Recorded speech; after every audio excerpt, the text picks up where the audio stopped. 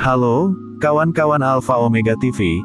Khusus kali ini saya bukan bersaksi, tapi ingin membagikan pengalaman hidup yang mungkin bisa menjadi pegangan anak-anak Tuhan Yesus ketika harus mengambil keputusan.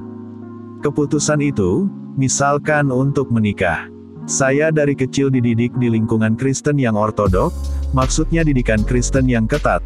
Kalau hari Minggu saya tak pergi sekolah Minggu, sehari itu saya seperti orang asing dalam rumah sendiri, karena saya dianggap melawan Tuhan, bagi keluarga saya, hari Minggu adalah saat yang tepat untuk kita bersyukur kepada Tuhan dengan jalan pergi beribadah ke gereja. Ketika dewasa anehnya, saya selalu mendapatkan pacar selalu muslim, sampai saya berdoa sama Tuhan Yesus, Tuhan memangnya tidak ada cewek Kristen yang cocok dengan saya, kenapa harus selalu pacar anak muslim? Dan saya sampai berpikir kritis, saya yakin bahwa jatuh cinta pasti dari Tuhan, apakah memang agama yang membuat Tuhan, dan saya sangat yakin kalau agama bukan Tuhan yang menciptakan.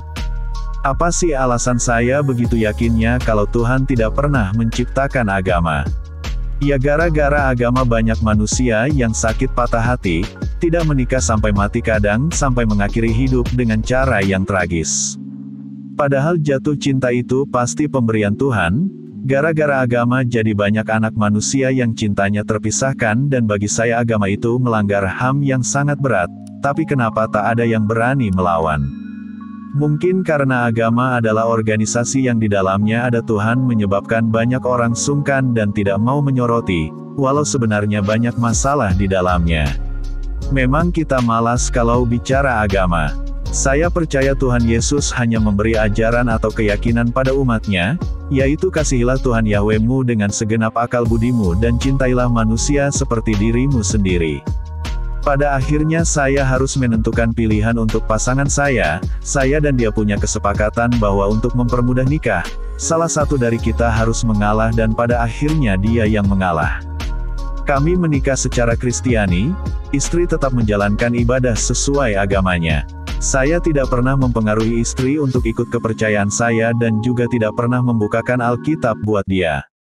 Saya percaya kalau saya tidak bisa membuat istri ikut kepercayaan saya hanya dengan tekanan dan membukakan Alkitab dan membaca beberapa ayat, mungkin malah menyebabkan istri saya tidak tidak suka dengan saya karena dia merasa saya tekan untuk mengikuti kepercayaan saya, tapi saya percaya, hanya Tuhan Yesus yang bisa menyentuh hatinya dengan roh kudus dan membawa dia untuk bisa satu iman dengan saya.